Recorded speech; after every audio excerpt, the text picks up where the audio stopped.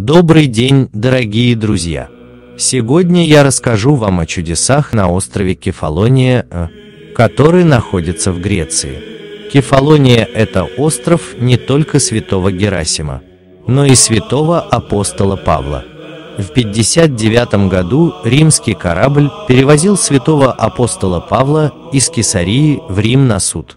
По пути их настигла буря недалеко от Мальты, где святой апостол пробыл три месяца. Синод Элладской церкви в 2000 году официально причислил церковь Кефалонии к ряду церквей, основанных святым апостолом Павлом.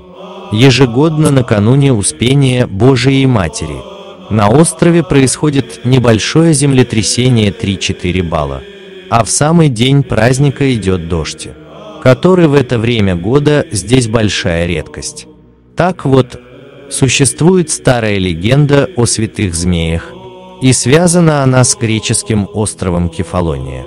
Появление змей в Маркопуло накануне Успения не случайно. Согласно легенде, в 1705 году женский монастырь в Маркопуло был атакован пиратами. Нападение произошло как раз на праздник Успения. Монахини стали горячо молиться Богородице перед ее иконой, э, чтобы она избавила их от пиратов. И произошло чудо. Когда грабители сломали ворота и ворвались внутрь обители, э, вместо монахинь они увидели змей. Испугавшись, пираты вернулись на корабль и уплыли. С тех пор, накануне праздника Пресвятой Девы Марии, змеи сползаются в храм стоящий на месте бывшего женского монастыря. Пришествие змей всегда случается только накануне Успения. В этот день в храме совершается богослужение, а змеи беспрепятственно проникают внутрь здания, находятся там в течение службы, а затем спокойно уползают. На голове у змеек слабо заметный рисунок в виде крестика.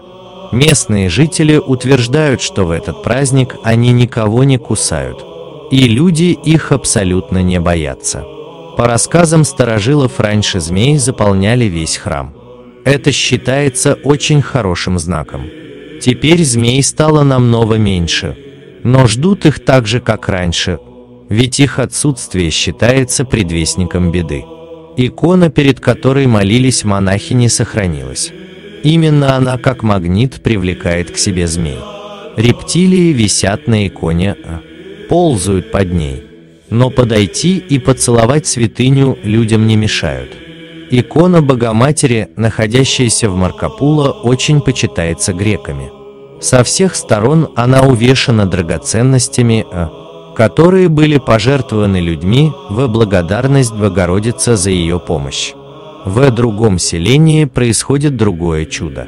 В день Благовещения Пресвятой Богородицы э, кефалоняне приносят в храм белые лилии, э, подобные той, с которой явился к ней Архангел Гавриил.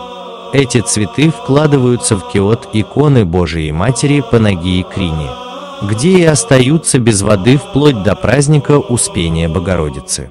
И вот тут происходит чудо на сухих, растрескавшихся от жары стеблях лилий распускаются нежно-белые цветы. И это через пять месяцев после того, как они были срезаны. В праздник Успения Божией Матери после литургии в церкви служится молебен. Цветы освещаются и раздаются верующим, пришедшим в этот день в храм. Эти сухие стебли лилий подобны нашим душам, иссохшим от безверия и сомнения. Белоснежный цветок как бы напоминает нам, что для Бога нет ничего невозможного, и что наша душа, погрязшая в грехах, тоже может расцвести и озариться благодатью Божией. Огромное число паломников съезжаются в Кефалонию за этими чудесами. На этом на сегодня все. Следующая история о девушке, которая окаменела с иконой в руках и стояла 128 дней. Оставляйте свои комментарии, э, что вы думаете об этом чуде, а также присылайте свои истории присутствия Бога в вашей жизни. Если вам не понравился рассказ или вы не верите в Бога, а думаете, что люди произошли от обезьян, то ставьте дизлайк. А если вы человек верующий и вам понравился рассказ, ставьте лайк и подписывайтесь на канал. Это очень поможет продвижению канала. Верьте в Бога и уповайте на нек. Ой, и Бог вас никогда не оставит. Всем пока!